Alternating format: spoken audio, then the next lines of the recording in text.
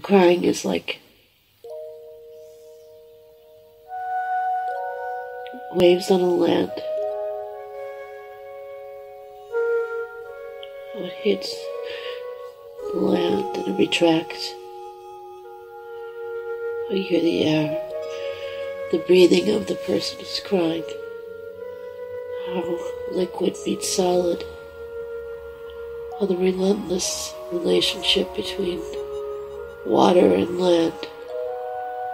Water trying to get up on land, pulling land back into water. How the two worlds meet. Sadness, reality. How we come from water. How our bodies are constructed of water. Same amount of water as there's on the planet. Contra land.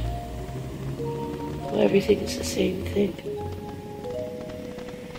Why should it be sad to come to land? Because it's hard. Solid.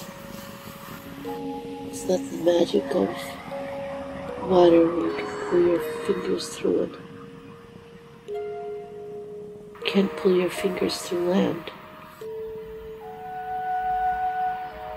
It's not all there is. It's chemical fights, solid fights, solid liquid mass.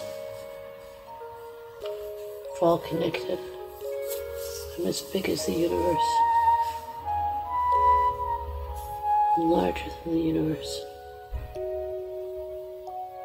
Everywhere big, vast. Parts of me that are heavy, parts of me that are free.